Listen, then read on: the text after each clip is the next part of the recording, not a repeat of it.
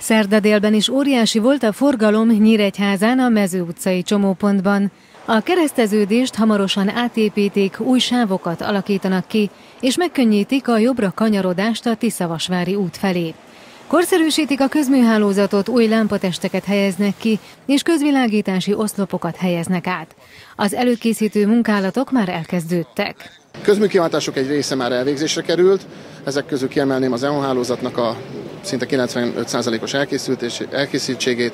A, ezen belül áthelyezésre kerültek a közvilágítási oszlopok, a lámpatestek elhelyezésre kerültek, jelenleg a szegélyek, járdaszegélyek és ágyazatok készítése van most folyamatban.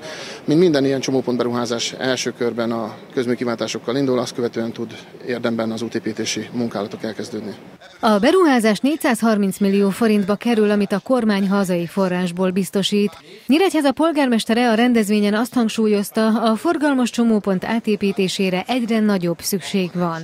Eddig is nagyon forgalmas volt a kertváros folyamatos bővülésével, de amióta a nyugati elkerülő elérte a Tiszavasvári utat, nagyon sokan járnak Nyíregyháziak erre autópályára fel vagy le, illetve hát a Legónak a, az újipari parkban meglévő gyára, amely most már 2000 embert foglalkoztat, és a szám várhatóan egy-két éven belül ennél sokkal nagyobb mértékben nő.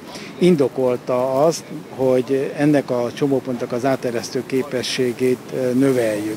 A csomópont átépítése során mintegy 1000 köbméternyi aszfaltot használnak fel, továbbá 5200 méternyi hírközlési kábelt és mintegy 6000 méternyi egyéb földkábelt helyeznek el.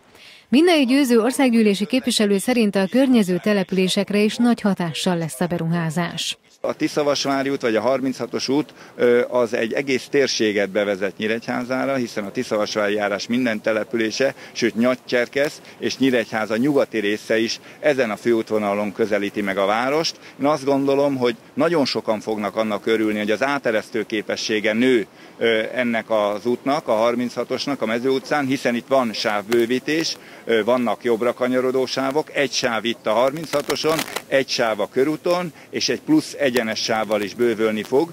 A rendezvényen jelen volt Szabó István, a szabolcs már bereg megyei közgyűlés alelnöke is, aki azt hangsúlyozta, a megye szempontjából is kiemelkedő jelentőségű Nyíregyháza fejlődése a megyeszékhelyre nehezedő közlekedési nyomás az egyre nehezebben elviselhető, és ahhoz, hogy ezt gördülékenyen, biztonságosan le lehessen vezényelni a közlekedésben, ne legyenek fennakadások, ahhoz ilyen és hasonló közlekedési beruházásokra van szükség. Úgyhogy ez a csomópont egy nagyon fontos lépés a megyeszékhely, a fejlett megyeszékhely, fejlett közlekedési infrastruktúrájának kiépítésében.